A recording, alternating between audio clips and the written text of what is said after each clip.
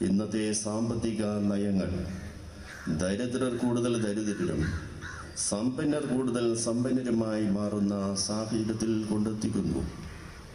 മനുഷ്യോചിതമല്ലാത്ത ജീവിത സാഹചര്യങ്ങളിൽ ഇന്നും ധാരാളം മനുഷ്യർ ജീവിക്കേണ്ട അവസ്ഥയാണ് നിലനിൽക്കുന്നത്. വികസനത്തിന്റെ പേരിൽ കുടിയൊഴിക്കപ്പെടുന്ന സാധാരണക്കാർ ഭവനരഹിതരാകുകയും ഗോഡൌണുകളിൽ കഴിയേണ്ട സാഹചര്യം ഉണ്ടാവുകയും ചെയ്യുന്നു.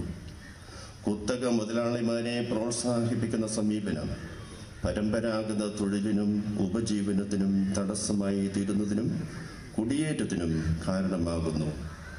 പുത്തൻ സാമ്പത്തിക നയങ്ങൾ മത്സ്യത്തൊഴിലാളികളെയും ആദിവാസികളെയും ദളിതരെയും കർഷകരെയും ദുരന്ത സാഹചര്യത്തിലേക്ക് തള്ളിയിടുകയാണ്. ഈ സാമൂഹിക രാഷ്ട്രീയ സാമ്പത്തിക പശ്ചാത്തലം മാറി. നവസമൂഹ നിർമ്മിതിക്കായി ജനമുന്നേറ്റം ജനകീയ പ്രസ്ഥാനങ്ങൾ സമരങ്ങൾ ഇതിനകം തന്നെ നമ്മുടെ രാജ്യത്തിൽ ഇന്നും അരങ്ങേറുന്നുണ്ട്. എന്നാൽ ഈ മുന്നേറ്റങ്ങളെ അടിച്ചമർത്താനാണ് രാഷ്ട്രീയ നേതൃത്വം ശ്രമിക്കുന്നത്.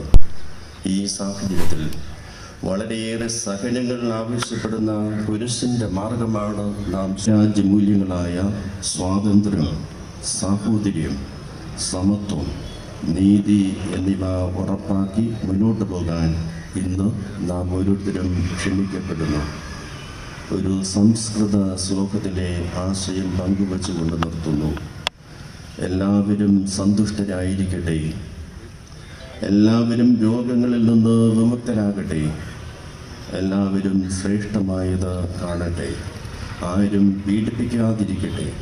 സമാധാനം സമാധാനം സമാധാനം.